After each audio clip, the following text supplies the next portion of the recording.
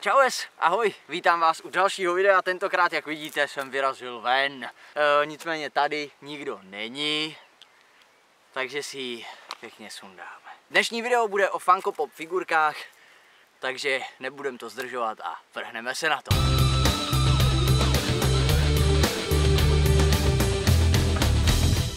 První zvolená figurka do tohohle videa je Albus Percival, Wolfric, Brian, Brumbal.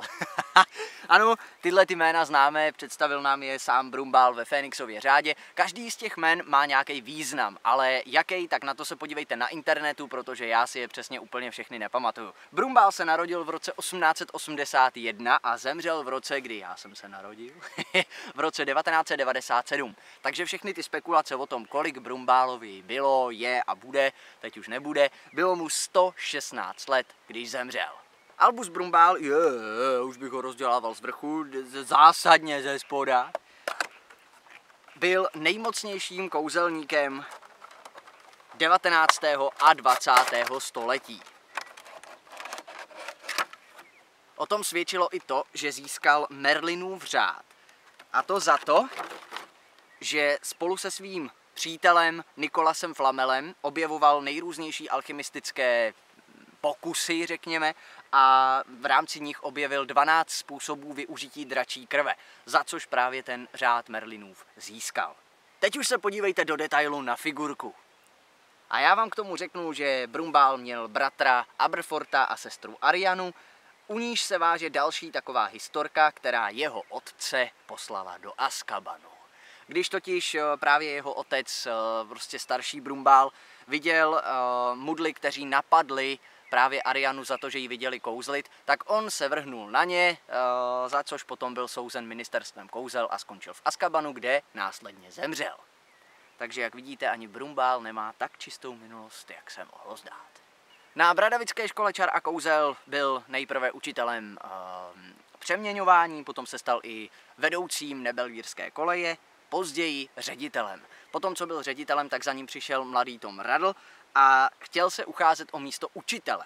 Právě na škole čar a kouzel, ovšem Brumbál ho striktně odmítl. Načež Voldemort začal právě ty svoje um, vraždy a strašné zločiny a proto Brumbál proti němu založil Fénixův řád. Byl to takzvaný odboj proti Voldemortovi a byl pojmenovaný podle jeho Fénixe, jeho Foxe a to proto, že Brumbálův patron je právě Fénix. Ještě vám tady ukážu, z jaký série Brumbál je. Eh. Vůbec nejzásadnější informaci o Brumbálovi uvedla J.K. Rowlingová v roce 2017 na jedné tiskové konferenci, a to tu, že Albus Brumbál je gay. Jako druhou jsem zvolil zástupkyni ředitele, taktéž vedoucí nebelvírské koleje a učitelku přeměňování na škole čar a kouzel v Bradavicích Minervu McGonagallovou. Minerva McGonagallová byla čestná, spravedlivá, statečná, taky obětavá, laskavá, ale zároveň přísná. Mimochodem je registrovaný zvěromák a proměňuje se ve stříbrně mourovatou kočku, která má ale pod očima takové uh, tmavší kruhy, což znázorňuje její brýle.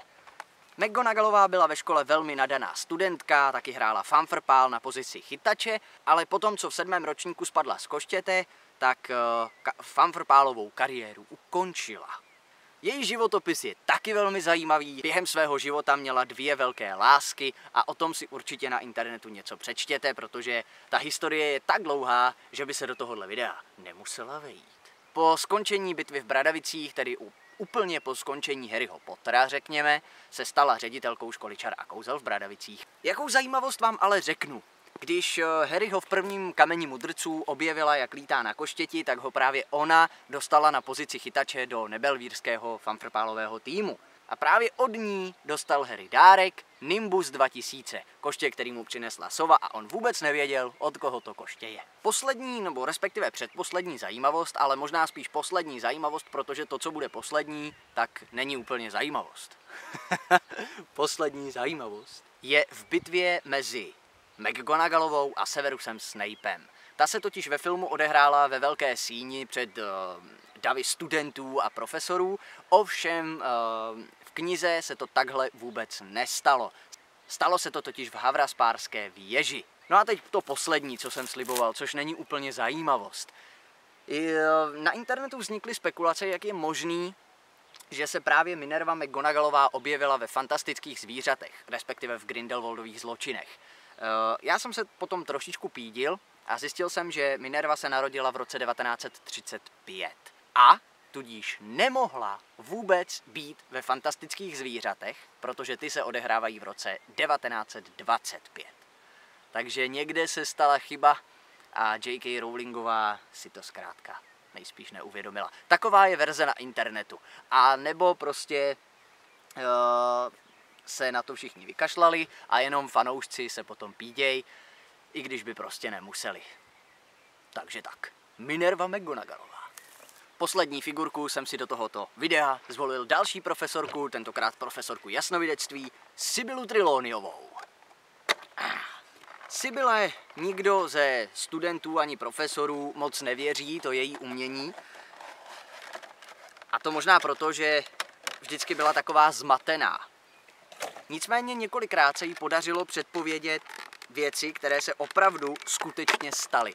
Tahle figurka má dokonce i podstaveček. Krom toho, že předpovídala smrt několika studentům, a to každoročně, a nikdy se to nevyplnilo, tak eh, předpověděla taky smrt Albuse Brumbála protože těsně předtím, než se tahle ta nehoda stala, tak jí v kartách vyšla věž v bouři. Sybila se správně dovtípila, že to bude znamenat smrt Albuse Brumbála, což se vyplnilo. Jak víme, v bouři na astronomické věži zabil právě Severus Snape Albuse Brumbála.